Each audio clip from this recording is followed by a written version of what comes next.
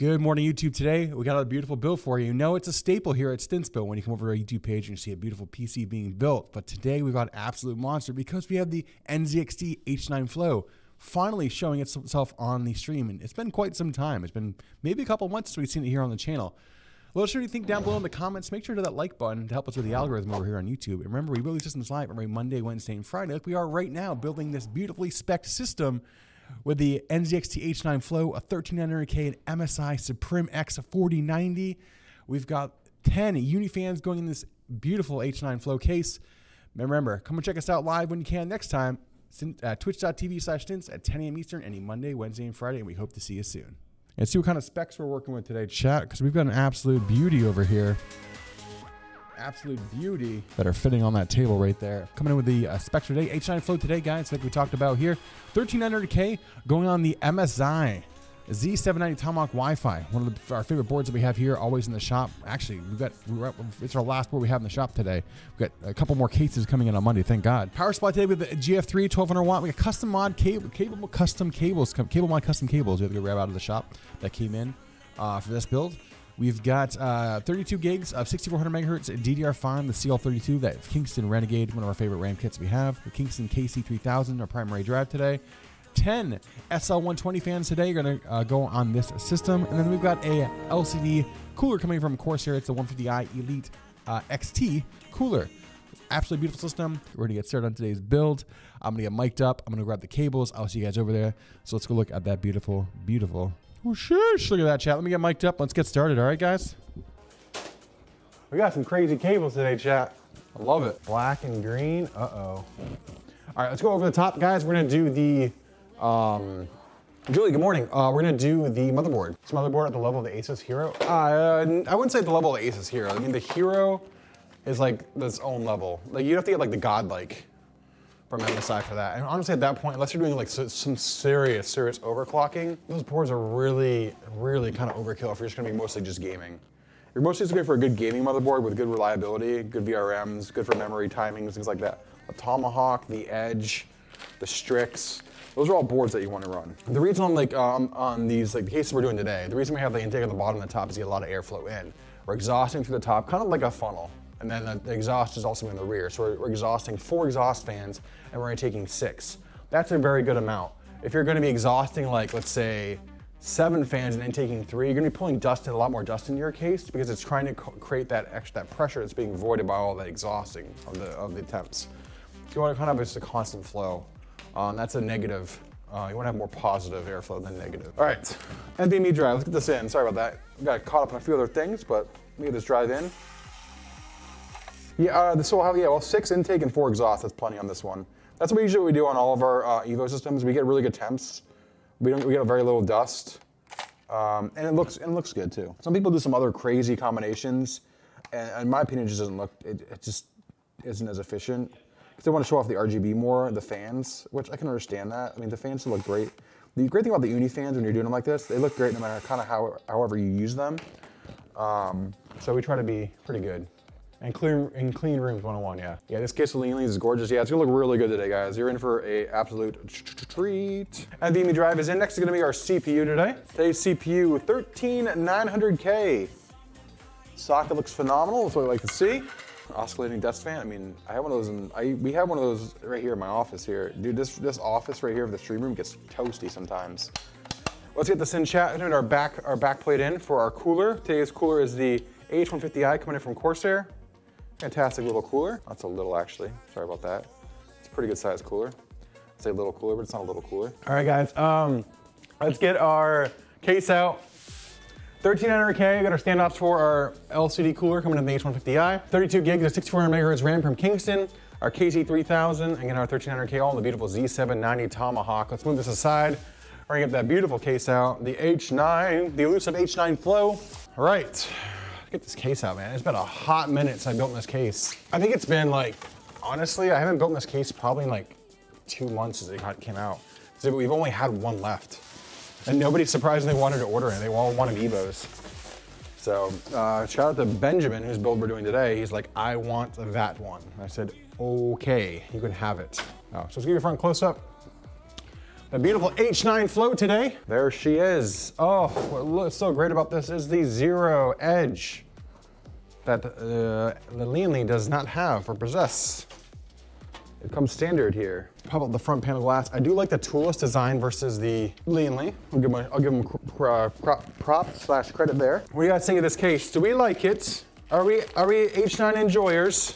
Oh, I forgot these. Oh, the, the fans come out on these too. The trays in these. Mm. Wait, does the bottom tray not come out in this case? I can't remember. It doesn't. I forgot about that. That's the only flaw of this case. The Evo beats it for that one, that one reason, and it's the bottom fan the bottom fan, the bracket comes out. The cable management is, does beat the Lian Li, though. I'll give that credit. All right, let's take out some of these fans, all right, chat? So we're not using any of these. We're gonna be replacing with the Uni fan today. How you doing, Carl? Good to see you, man. All right, guys, we're gonna go top down. We're gonna start on this motherboard. I've had a lot. I've had coffee and I'm on an energy drink today, guys. I'm a little hyper today, okay? ASMR time. Mm-hmm. Got a lot of screwing to do. So if you like the sound, I mean, got a lot, got a lot of screws to put in this board, or in this case. So if you like that kind of ASMR, then by all means, that's what you're gonna hear. I'm red in the face right now. I can't believe I just said that. all right, I'll give you a front close-up of this beautiful, beautiful case. Oh boy, not as heavy as Evo, which is nice. Still bulky, but not as heavy. Man, that looks good. That does look sharp. That is a sharp looking case but I do say so myself. We hook up our front panel cables, we're gonna take out these side fans, which are not gonna be utilizing, those things go. Look at them go. I mean, it, it, does beat the Evo in terms of cable management. Look at all the space you have back there to run those beautiful, beautiful cables like we just did. But now it's time to work on these SL fans. There we go. Put the fans, getting the fans all linked together. Chat, look at those beautiful SL fans today.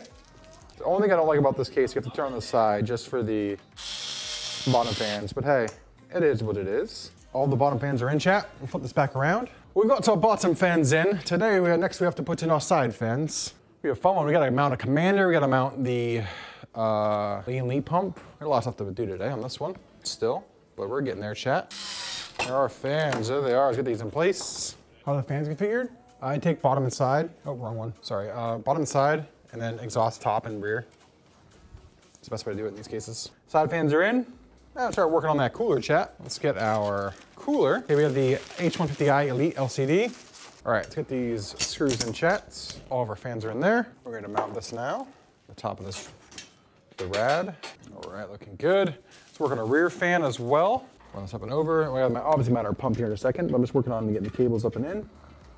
How you connect all the fans, Lian Li control, yes, the controller, yep. Controller, and then the fans, the PWM aspect of that will be controlled by um, the PWM aspect will be controlled by the, uh, the cooler, or by the, uh, the H150i cooler. The thing that slows down systems right now is like a, a one-off GPU that might be really rare, or like custom cables from Cable Mod. Cable Mod cables right now are 8 to 12 weeks, even with our partnership with them. It's just, it's insane. Flip this around, chat. There we go. Looking good. Looking good. All right. all right, let's get to the other one we need to get is our other hub. Let's get that all wired in, and we're working on a power supply. All right, on to the cable mod cables. Cable mod today. Hit the run just like that. Ah, oh, there we go. All right, let's get our 24 pin main motherboard in. Come Back up into the power supply. Noise. All we have left to run is our 12 volt high power. Let's get our power supply out now, chat. Uh, don't need any PCIe today. We'll need an, uh, we won't need the EPS one. I think we got all the cables already running. Sheesh. The only thing we're need out of this is going to be a SATA cable today. All these other cables can go back in the box or in the bag. You just need a SATA. It's the only thing it's not, you don't see on the back end. No point in spending money on a SATA cable back here. We have we, we flip it around all the time. Is there a command for it? We typically have this USB camera working, but we just change motherboards and processors. And our USB bus is good, but there's cables so far. Yep. That's this right here you see is hanging. It's going to Velcro to the back panel right there and shut, so there's not a lot of cables. But since Wheelie had a question, he could not hear the answer because of the ads. How many fans can I put in an H7 case? You can put uh, an H7 case, we'll technically do push-pull on it, but uh, we do seven. We recommend seven fans. Uh, you can do four 140s and three 120s. That's for the three for the cooler, yes. You put four in the front, or, or three in the front. You put 140s in the front, and then you can put um, a 140 in the rear exhaust, in that case.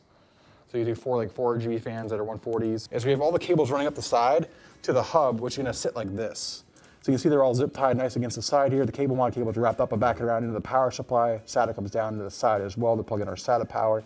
All the bottom is open. Like we have so much room for cable management in this case. That's why they made this case so well. And then we're gonna run our, only thing we have left to run is our, our, um, our GPU cable, which is right here. It should come down on this main line and underneath or through the side here. But um, super nice and neat. All right, guys, we're on to, I think we're on to something called the GPU. And today we have the beautiful RTX 4090. Not just any 4090 today, Chad. We've got the beautiful, beautiful, beautiful MSI Suprim X, which is gonna look absolutely killer in this case. We all love the Supreme. We all love the chunky boy. Look at the size of that thing. Shush. Look at this. I say this is behemoth, man. Look at the size of this chonker right there. Look at that thing. Shush. So let's get this behemoth in, this chonker.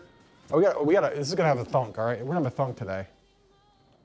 We have a thunk. You guys ready for this? See if we can get a good audio sound here. Guys, thanks for the sub over on YouTube again. Here we go with the thunk. RTX 4090 Suprim going in. Dude, it's heavy. Just line it up in this case. Here we go, chat. Ready? Chungus going in. Oh, that was a thunk right there, chat. That was a thunker. This is a great case. There's, the top's a little, a little, a little tight on cable management, but the back is makes up for it hands down over Lian Li. Use the brackets to hold them up. Uh, we recommend getting secondary ones. So uh, this one I would recommend. The Suprims come with a really nice bracket. Like it's crazy because it's not much. It's only a couple, like hundred dollars more than the Trio usually. Um, but they come with a really, they do come with a nice bracket, like a nice little like kickstand. All right, let me get this cable in chat. This beautiful cable mod, custom cable for the GPU. Back up and in. And we go with that beautiful custom cable today from Cable Mod. Shout out to Cable Mod. There we go, all in. Look at that, that looks pretty right there. Come off that GPU.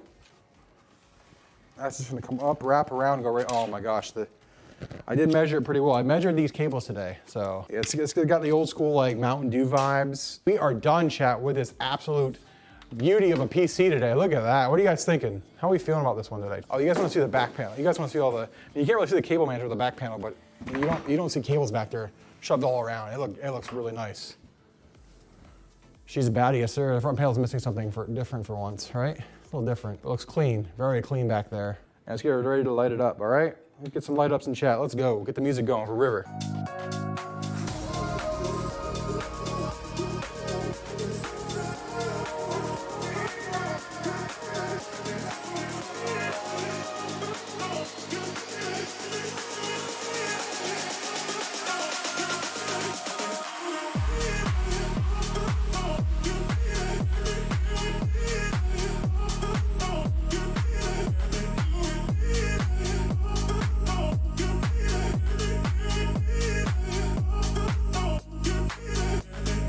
Guys, thanks for coming in and liking another video here on YouTube. Make sure you hit that like button, help us with the algorithm. Make sure people find us and see all the beautiful PCs we build.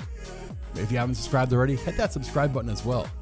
Remember, we build these systems live every Monday, Wednesday, and Friday over on our Twitch channel at twitch.tv slash stince. Come over, hang out, chat it up with us, watch us build beautiful PCs for everybody in the community. And remember, let's go.